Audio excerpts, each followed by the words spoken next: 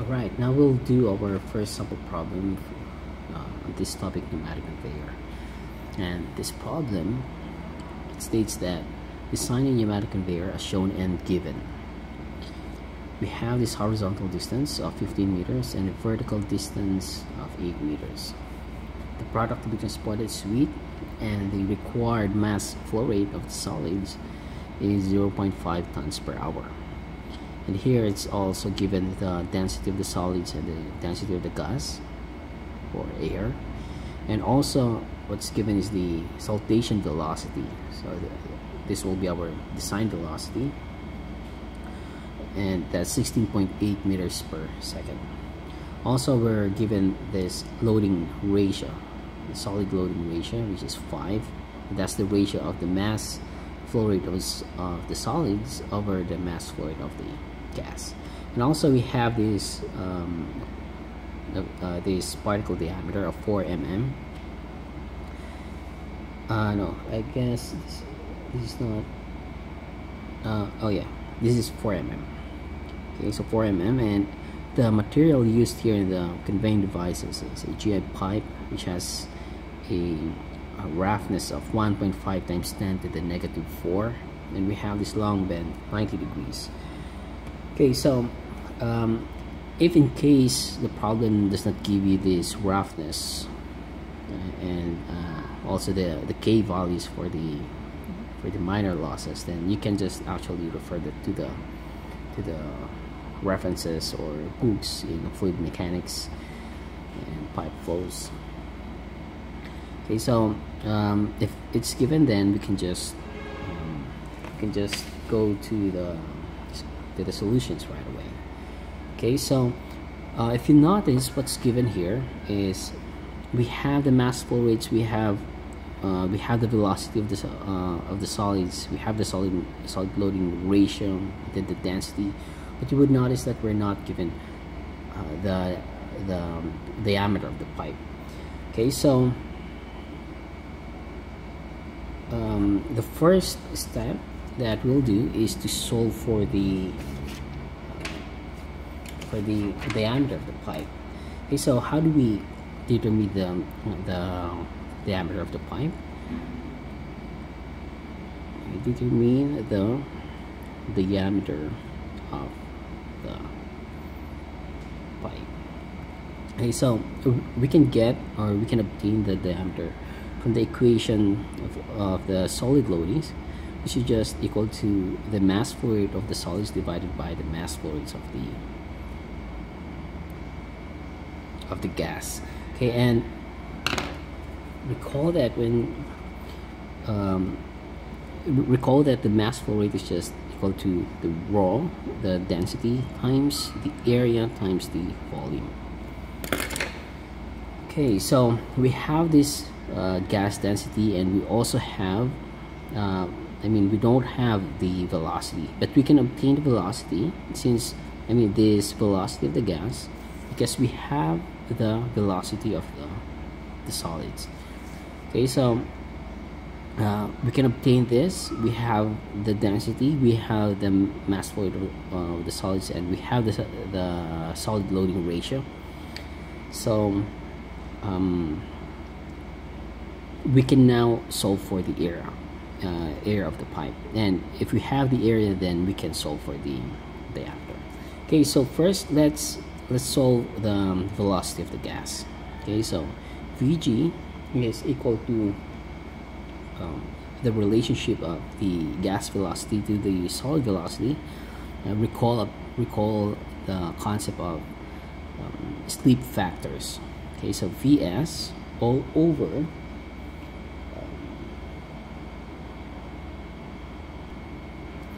so let's assume that this is a coarse um, or not a coarse let's say this is a fine particle. Although we, we didn't discuss the delineation between the fine particles and the uh, and the coarse particles. So let's just say that anything greater than 5 mm would be the coarse and anything less than 5 mm would be fine. Okay so let's if that's a fine particle then that's gonna be 0.9 and the velocity of the solids is equal to the saltation velocity of 16.8 meters per second divided by 0.9 and you will get 18.67 meters per second. Okay so you see that the gas velocity is higher than than the than the saltation velocity okay, due to the slip factor. Okay so now we can solve um, solving now for the area for the cross-sectional area. Okay so since we have this right flow rate of solids divided by rho times a times the velocity of the gas. Then if we rearrange this equation then we get the mass flow is divided by rho g times the velocity times the solid loadings. Okay so if we substitute the values we have this is equivalent to uh, 0.9 uh, no 0.139 kilograms per second divided by this density of 1.2 kilograms per meter cube times the velocity which is um, 18.67 meters per second times the loading ratio of 5 okay so if you do the math what you get is 1.241 times 10 to the negative 3 that's meter squared. And uh, solving now for the diameter we get d is just simply equal to the square root of 4 times the area all over pi. And if you convert the area into millimeter then what you get is 39.75 mm okay so uh, of course you have to round it up to uh, to available pipe sizes which is um, 40 okay so therefore use d is equal to 40 mm diameter. Okay so now you have the diameter um, then we can solve for the pressure okay so calculating now the pressure uh, the pressure drop due to solid accelerations.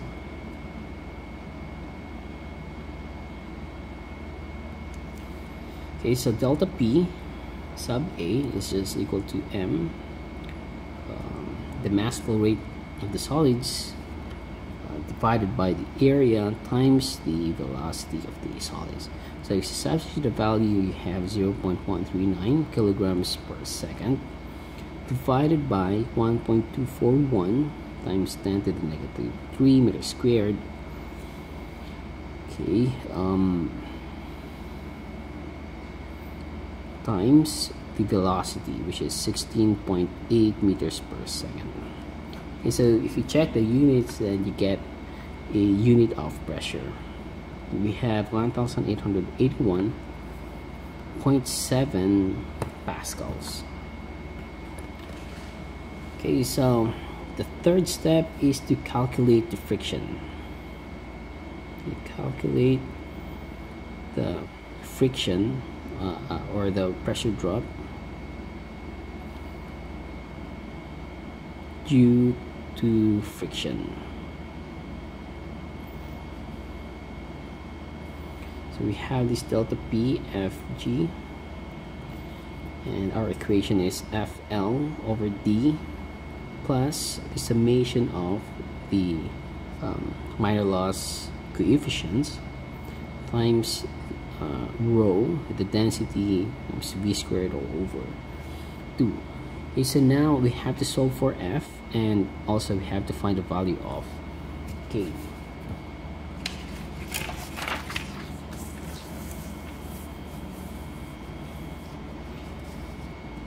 okay so solving for f.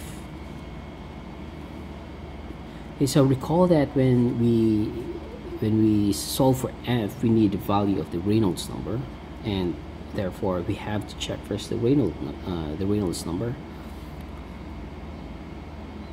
of the fluid and that's gonna be I mean of the flow and uh, the Reynolds number is just simply equal to the density times the velocity. And of course uh, since we are, we are talking about the gas then that's going to be the density of the gas and the velocity of the gas times the the characteristic length. Okay, so take note this is not the length of the pipe but rather that's the characteristic length. So that depends upon the geometry of the of the pipe if it's square or rectangular or, or circle. So um, and, but in our case that's a uh, a circular pipe and LC is just equal to the diameter okay so again take note this is a um, characteristic length. It's not the length of the pipe okay so divided by the um, viscosity of the fluid.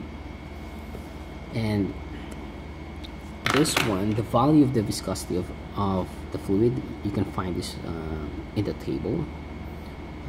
Uh, or let's just say from tables but if it's just air at 30 degrees centigrade and we have this value 8 point um, I think that's 8.85 times 10 to the negative 5 and the unit is uh, pascals seconds okay so this is a dimensionless numbers and it actually tells you uh, if your flow is in laminar uh, laminar flow conditions or in turbulent flow conditions or in in between. Okay so uh, let's now substitute the values. 1.2 kilograms per meter cube times the velocity of the gas 18.67 meters per second times 0.04 meter so this is the diameter of the pipe which is equivalent to the um, characteristic length it divided by 1.85 uh, times 10 to the negative 5 that's Newton uh, meter squared seconds or pascals seconds. Okay so uh, you can you can actually um, take note of these values because if we're just using air and at around room temperature or, or 30 degrees centigrade then this will be the value. Okay so the value if you do the math then you get 48,441 the Reynolds number. And recall that the uh, the Reynolds number the um, critical Reynolds number depends upon um, I mean you check first if uh, you are in a pipe flow conditions or internal flow conditions or you are in a um, in an open channel flow?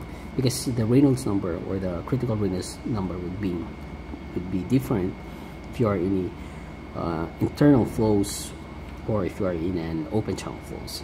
Okay so we are in in in an internal flow um, conditions. So therefore the um, the critical Reynolds number would be uh, would be around uh, 3000 or 2000 okay so if we if we write it here then we have this if Reynolds number is uh, I guess less than or equal to 2000 that is laminar flow.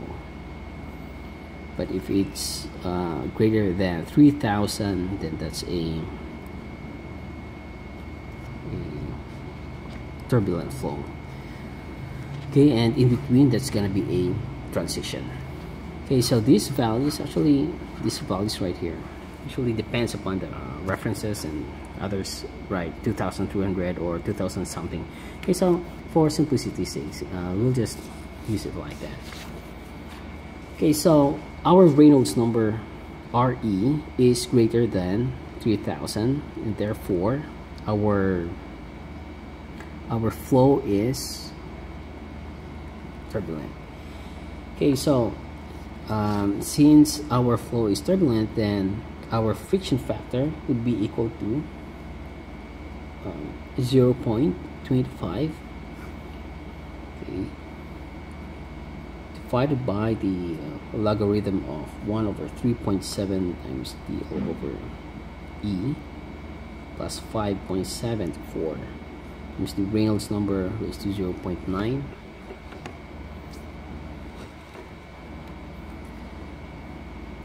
okay and that's square okay so we have this d value the diameter uh, divided by the the roughness.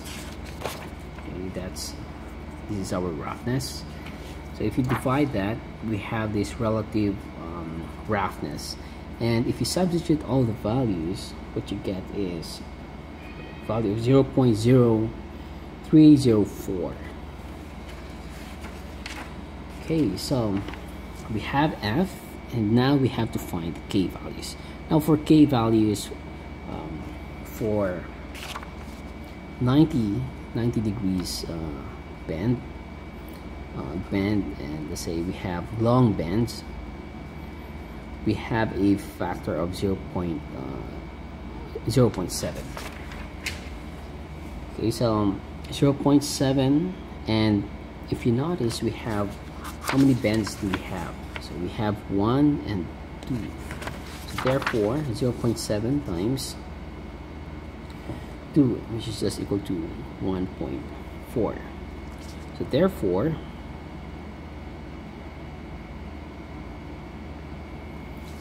the pressure drop due to friction of the gas is just equal to 0 0.03 okay, 04 times the total length. So the total length is 15 plus 8 okay so actually it's just the um, the total length of the pipe. Okay it happens that in this in the sample problem uh, it gives you the um, total horizontal length and then the total height. So it's just 15 plus 8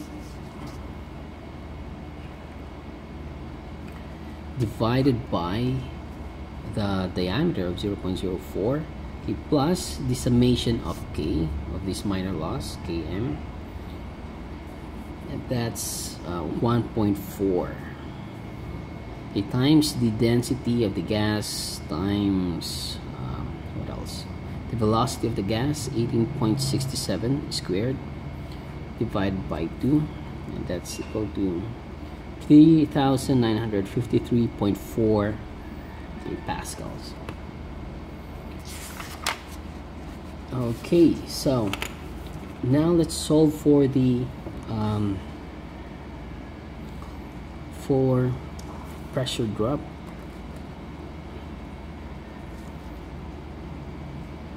Due to solid frictions. Okay so delta p fs is just equal to k um, times the solid loading times the pressure drop due to fluid friction okay so what is this k? And recall that k is equal to fs times vs over f times the gas velocity. And we have we have this we have vs vg and f except we don't have this f sub s. So find first the f sub s using the um, the correlations that we adopted so 55.5 d is 1.1 uh, raised to 1.1 so vg raised to 0.64 and then the particle diameter 0.26 this one is 0.91 okay so if you substitute all the values right here what you get is 0.00251 okay so take note that this one refers to the um, I mean the, uh, a more precise definition I guess would be the equivalent diameters. And uh, for now let's just use the uh, the particle diameters. I mean the geometric. But there are still other equivalent uh, diameters in terms of um, the drag force or volume or whatever. Okay so uh, this is this is our fs and so we can now solve for k and k would be 0 0.00251 times the the velocity of the of the solids divided by or friction factor okay times uh, 18.67 and we get 0 0.0665 and therefore delta PFS is equal to our K which is 0 0.0665 times our solid loadings of 5 times our uh, value uh, for the uh, for the gas friction. That's 3953.4 pascals. And that's 1314.66 pascals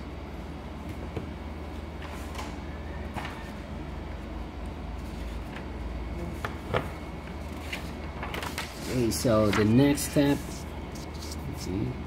The next step is to solve for the pressure drop required to lift the gas. Which is just simply um, rho gh and our rho is 1.2 times times 9.81 times the height of 8 meters.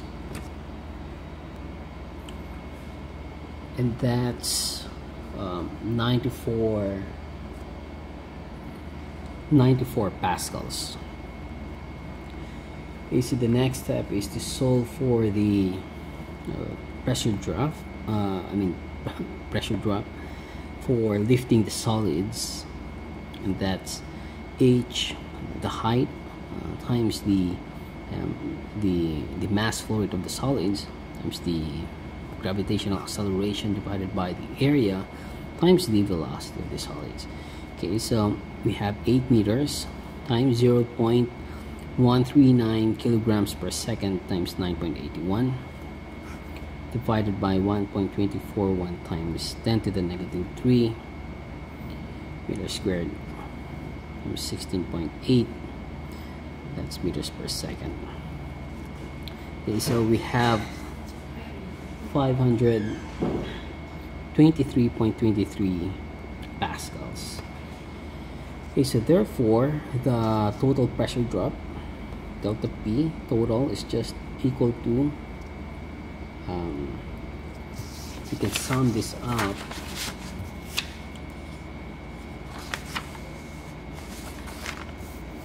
it is 1 1800 delta PA which is 1881.7 and the pressure drop due to friction uh, due to gas friction that's 3953.4 and the pressure drop due to solid friction that is 1340.7 and this delta P LG is 94 and this one delta P LS is 523.23 and the last one the pressure drop due to miscellaneous equipment is not given so let's just assume it's zero. Therefore delta p total is equal to um, 7.77 kilopascals. Okay so um, if in terms I mean if if we want a pressure units that is term, uh, that is in terms of meters or mmH2O then you can just uh, divide this. Okay you just have to divide this by um, by the density. Okay so this is um, okay so if we want delta P total in terms of uh, meters or mmH2O then you can just write 7.77 kilopascals divided by the unit weight of water which is um, equal to 9,000 um, I think that's 9,810 newtons per meter squared. Okay and that's gonna be meters and then you just convert that to mm. Okay so that is our total pressure drop of the systems. And now let's solve for solving for the volumetric uh, volumetric flow rate.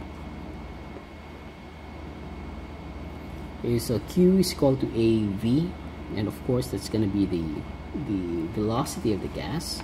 And the area is just simply uh, pi d squared all over 4 okay, times Vg and pi times 0 0.04 okay, times 18.67 meters per second. So we have a value of 0 0.0235 cubic meters per second. And therefore okay, and therefore fan selection should be fan rating should be um, delta P of fan should be greater than or equal to the delta P total. This is the system and uh, no. The flow rate should be at least uh, 0 0.0235 cubic meters per second. Okay and then for the air HP uh, we have delta P times Q divided by the uh, conversion factor of the horsepower to the kilowatts which is 0.746 and what you get here is 0.24 HP and if we assume assuming a 50% efficiency okay from the from the shaft horsepower to the um, drive um, drive efficiencies and all that and let's say we have the fan efficiency of 50% then um, motor HP is equal to 0.24 HP all over 0.5 which is just equal to 0.5 HP okay so um, this is it.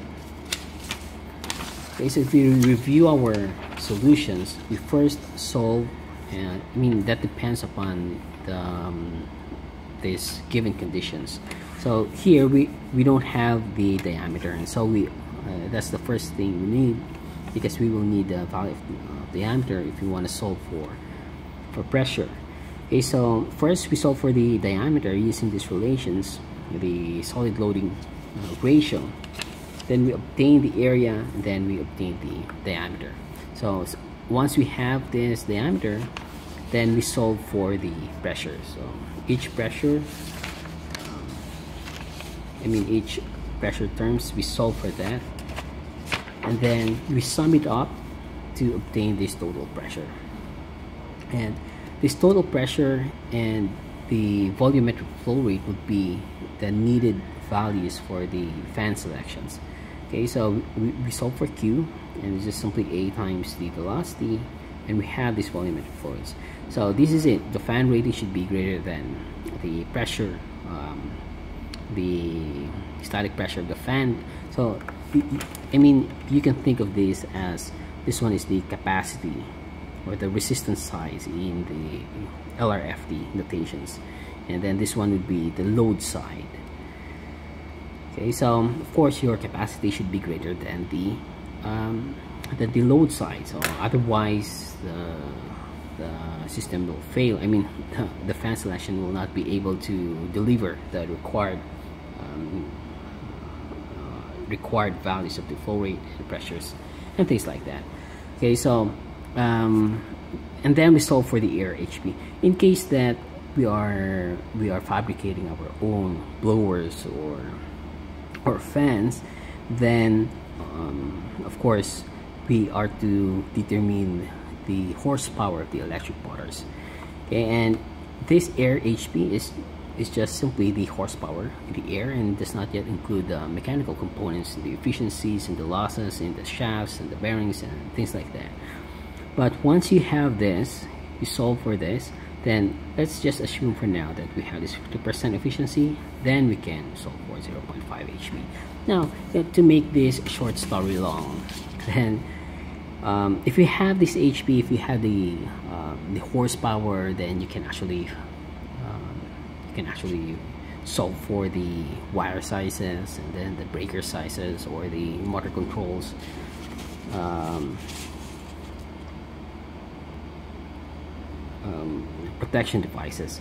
Okay so that's the main essence of this. Okay so in the next video we will still do another problem or problem number two except that we'll have a slightly different um, conditions and given data. Alright so see you in the next video